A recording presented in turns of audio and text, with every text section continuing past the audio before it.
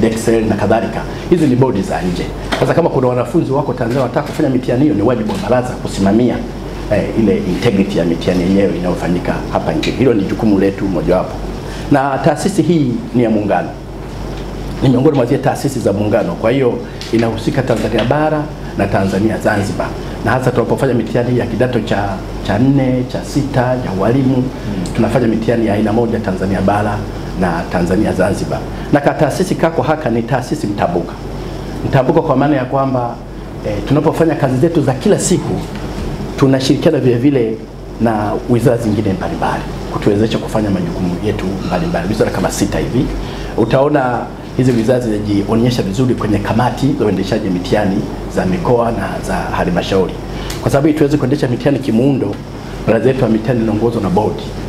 Eh, baraza lenyewe la mitihani ambao wajumbe kuna wawili, wajumbe ambao umewateua wewe Mheshimiwa Waziri kwa dhamana na kutoka Tanzania bara na Zanzibar. Lakini ili mitihani tuweze kuendesha kila siku katika nchi yetu, tuna sisi huku tunakuwa kama secretariat, lakini kwa mujibu wa sheria kifungu cha 34 cha sheria ya baraza kimeestablish uwepo wanaoendesha mitihani katika mikoa tunaowasimamia sisi, kamati za mikoa, kamati za halmashauri na kwa chini na kule wapo wale wanaokaa kufanya kazi hiyo kwa mamlaka yao. Kwa mfano kwenye mkoa pale kiongozi wa baraza la mitihani mkoa ni katibu tawala wa mkoa. Sasa anasaidiwa na afisa wa mkoa, afisa taaluma mkoa, lakini ana wajumbe RPC, RICO pamoja na state attorney mwanasheria wa, wa mkoa, na hali kadhalika wanakuwa ni wajumbe wa aina hiyo kwenye ngazi ya, ya halmashauri. Na kwa utaratibu huo inaenda hadi kwenye shule za sekondari na msingi, ambako walimu wetu kule sisi kwa mujibu wa muundo wetu wa utekelezaji wa kimitihani wanaitwa ni maafisa mitihani kule sisi ni maafisa mitihani kwa sababu ndio wanaofanya role ya utunzi, wanasimamia katika role ya usimamizi na role ya usahishaji kwa wanakuwa na kapasa hiyo ya kuwa kama maafisa mitihani. Mheshimiwa Waziri, uh, baraza lako la mitihani linaendesha mitihani ya aina mbalimbali. Mm.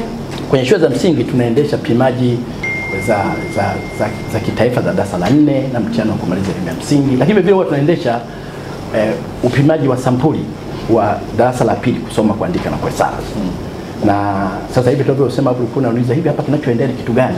Vipo vitu kama viwili vikubwa vinaendelea. wanasaisha pilot ya walimu ambayo imefanyika ndogo, kuona yale ma tuliopewa maoni kama tumeaccommodate, lakini vile wapo wanaoendelea na usaishaji wa KKK.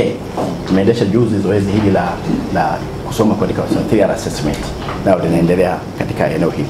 Lakini kwa upande wa sekondari tunaendesha pimaji ya kitaifa za kidato cha pili, tunaendesha mtihani wa kidato cha nne na maarifa na mtihani wa kidato cha sita. Na kule kwa upande wa walimu tunaendesha kwenye vyuo vyetu vya walimu mitihani ya walimu ngazi ya cheti na ngazi ya stashahada. Hii ndio mitihani inayoendeshwa na baraza lako la mitihani la Tanzania. Na baraza la mitihani, Mheshimiwa Waziri, niseme tu tunaposema leo 2022 tukiliangalia muktadha wake hadi 2021 kwa kweli tumepata mafanikio makubwa sana, na watendaji wako hapa kwa kushirikiana na serikali, serikali imetupa mambo mengi sana ambayo inafaa baraza hili iwe mstari wa, wa mbele na pengine kuwa mfano wa Afrika. Nitataja baadhi ya mambo ambayo tumefanikiwa sana. Moja ni uwezo wa baraza la mitihani kuunda mifumo ya tehama na kuitumia katika uendeshaji wa mitihani ya, ya, ya, ya, ya taifa katika levels na ngazi mbalimbali.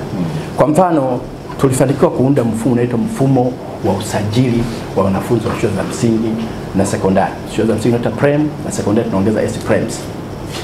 Mfumo huu eh, ume, umeundwa na watendaji wataalamu wako mwenyewe wa, wa, wa Mitihani Tanzania, na tumeunda ule mfumo, lakini umekuwa na manufaa makubwa kwa sababu leo hii hatuna tena mashaka yale ambayo tulikuwa tunapata miaka ya nyuma. Zamani tulikuwa hata tukifika bungeni pale tunaulizwa ghafla, hivi wapo wanafunzi wangapi wa shule za msingi. Ilikuwa swali nigumu kulijibu mm. na watu walikuwa nakimbia baadhi ya mitihani, labda ndio ndio kilichotufanya tuunde sisi kwamba unaambiwa kwani unao wangapi? Sasa unawaambia Kwa hiyo mna- mnaandikisha wanafunzi wanaosoma wanafunzi wote wanaosoma, sio wanaofanya mtihani. ah ah, wote wanaosoma Kwa hiyo nikitaka idadi ya wanafunzi wa darasa la saba kila mwaka ni kwanza mwaka gani umeanza hiyo? Mwaka 2018 Kwanza 2018. yes. Kwa hiyo zamani ilikuwa ukiulizwa una wanafunzi wangapi, unaambia lakini jamani, mimi na wanafunzi wa mitihani tu, sema ah ah, tunachukua data ya mitihani times 7 darasa saba bwana, Ile kama wala saba mara saba si mtaka saba tu. 10%. What it, ina- ilikuwa kama tuna makadirio. Sasa baraza likaona, lakini kwani tuko na mfumo ambao unatupa watoto wote madarasa yote kwa umri na wazazi wao, na kila mtoto akapewa unique namba akawa na namba yake ambayo hata ukiingiza kwenye system kama unamtafuta anakuja. Kwa hiyo Mheshimiwa Waziri, uwepo wa mfumo huu wa PREM ambao ndio uliotegemea ukauzaliwa mfumo wa PREMS yani wa sekondari, kwa sababu kwa dhana tu ya kwamba kwani mwanafunzi anaenda sekondari eh, sana toka shule ya msingi, kwa hiyo ile namba yake maalum si anaenda anahama nayo na ndio inampeleka kule. Kwa hiyo tulikuwa na mfumo wa sekondari, kwa hiyo ndio maana tunaweza kuwa sasa na wanafunzi wote kwenye system. Kwa ile ID namba ya primary mnaenda nayo? Inaenda nayo nayo na sekondari ni kwa wanafunzi wanaosoma public schools tu au wote public school wote. na private schools wote tunao kwenye, kwenye mifumo. Kwa hiyo haya yametengenezwa na sisi kupitia mifumo ya primary Pen kwa sababu huko ndio kumewekwa matokeo yote ya mitihani ya taifa. Lakini kama hiyo haitoshi, hii sio tu TCU NACTE vyuo vikuu vya kati na vya, vya juu vimenufaika na hilo, lakini pamoja na ofisi ya Rais TAMISEMI kama alivyokuwa anasema mkurugenzi pale, mifumo yetu imeungana na SIS, mifumo ya, ya TAMISEMI, sekretarieti ya ajira mm. kwenye ajira unaona apply kwa sababu mifumo yetu imeungana na sekretarieti ya ajira pia ili iweze kuendea mambo ya mengine. Baraza vile vile lilifanikiwa, tuliunda mfumo mwingine unaitwa mfumo wa kuwahudumia Watanzania e-service. Kuna zile kazi mbalimbali ambazo wananchi wanahitaji kuzipata kutoka baadhi ya mitaa ya Tanzania. Kwa mfano uh, watu wanataka wamepoteza cheti ama mm. cheti kimeliwa na mchwa ama eh, pengine alisomea Uganda mm. anataka cheti chake kifanyiwe equivalent. Zamani walikuwa na foleni pale kwetu ili waweze kupata huduma ile, lakini tukuunda mfumo wa e-service kwamba sasa mm. mtu anaweza akaomba huduma hiyo popote mfumo ataingiza ataweka anavyotaka kuingiza, system itamwona, itamwajibu, hata interact na system, lakini baadaye tukikamilisha system itamwambia tayari, atakuja kuchukua tu, atapewa kitu chake kali yeye alivyotaka. Haya yote tumeyafanya hapa kwetu, lakini vile vile tumeweza, Mheshimiwa uh, Waziri, kuwawezesha shule zetu zote. Ofisi ya Rais TAMISEMI zamani walikuwa wanatoa kitu kinaitwa living certificate, mm. cheti cha kumaliza mm. na living certificate mm. kabla ya TAMISEMI ilikuwa inatolewa na wizara ilipokuja wakati wa uh, local government zilipoanzishwa, jukumu la kuandaa living certificate kapelekwa ofisi ya Rais TAMISEMI na TAMISEMI walifanya hilo jukumu kwa miaka kadhaa, wakaona walisukumie baraza la mitihani kuandaa living certificate.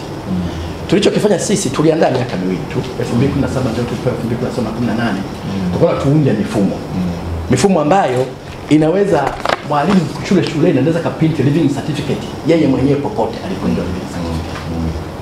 Kwa hiyo kwenye mifumo yeye akiingia, watoto akifika muda wake wa mwisho, anaweza akaingia kwenye dijitali akaprint living certificate. Tulichompa tu ni specs, gamba lile la namna gani, au kwenye color, wote wataona living certificate zenye QR code zote chini za aina moja.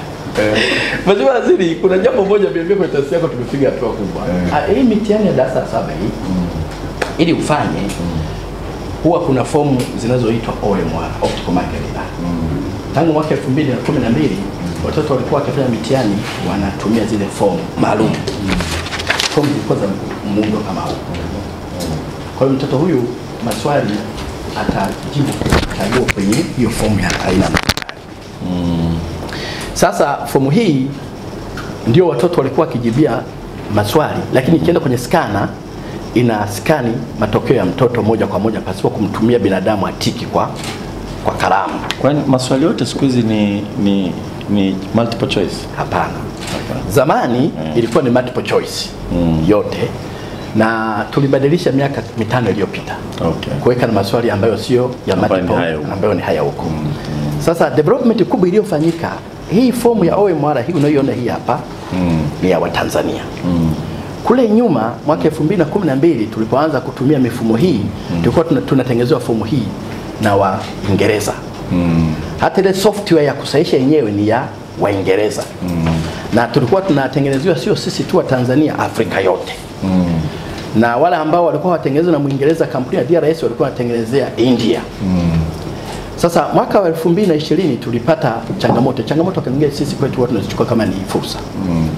Tulipokuwa na COVID 19 huyu anayetutengenezea Waafrika wote hizi fomu akatoa udhuru kwamba hataweza kutengeneza kwa sababu ya lockdown Uingereza. Mm.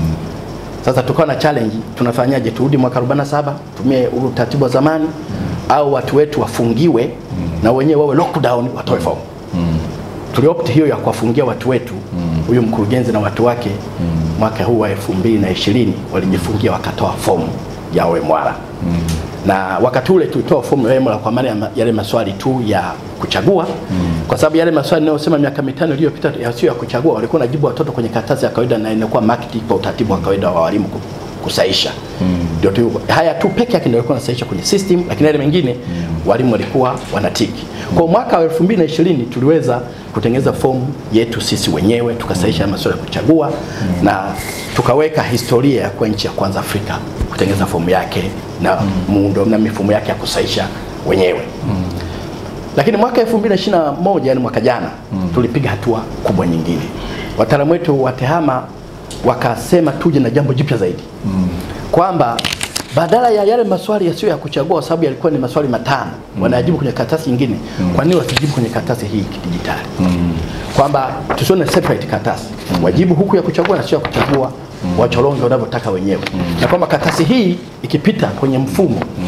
haya atasaishwa moja kwa moja, lakini hayo image yake itachukuliwa mm. na kwamba mtu sasa akipewa username na password anaweza kuwa akapata lile swali lake akalisaisha yeye mwenyewe. Ndio dhana ya e-marking ilipoanza.